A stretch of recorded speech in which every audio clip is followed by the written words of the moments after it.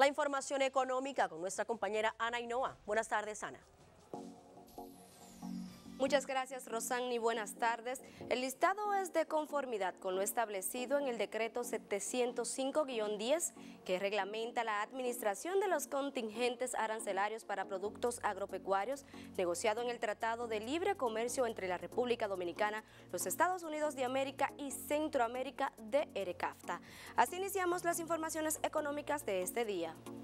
Entre los productos figuran el arroz, el yogur, las carnes, la leche en polvo y los quesos. Asimismo, la Comisión para las Importaciones Agropecuarias conformadas por el Ministerio de Agricultura, el Ministerio de Industria y Comercio y la Dirección General de Aduanas afirmaron que no se expedirán certificados de asignación de contingentes arancelarios en físico como estaba establecido el pasado año.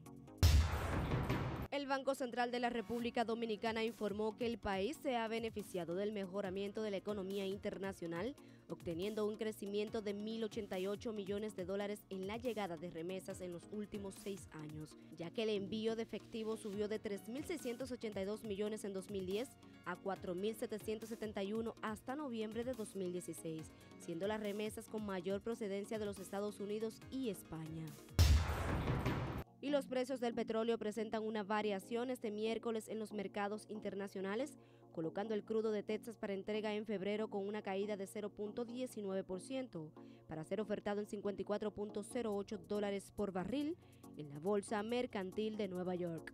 Mientras que el crudo Brent para entrega también en febrero aumenta 1.23% para ser cotizado en 56.79 dólares por barril en el Intercontinental Exchange de Londres.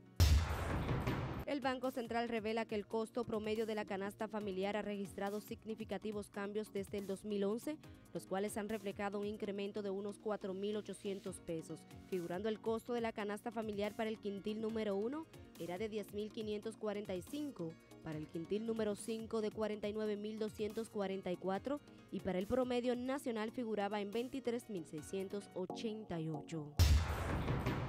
Y pasamos a Puerto Rico y es que el nuevo gobernador Ricardo Rossellot afirmó que el Ejecutivo no dispone de fondos para pagar las nóminas de los empleados públicos en el mes de febrero y esto a consecuencia del déficit recibido, que es superior a los 6 mil millones de dólares, situación que complica el desenvolvimiento de la nación. Y para finalizar, volvemos al plano local.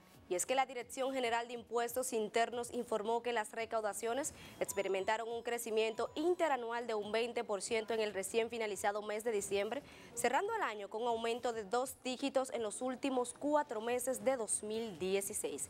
Así andamos en materia económica este miércoles. Rosani, paso contigo. Gracias, Sara. Al fin, informaciones positivas. Vamos a una pausa.